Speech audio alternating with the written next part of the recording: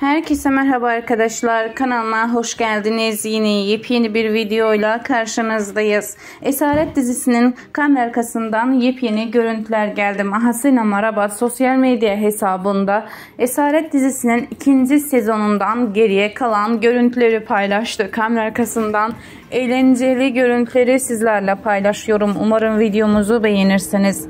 Birazdan sizlerle 3. sezon ilk fragmanını da paylaşacağız.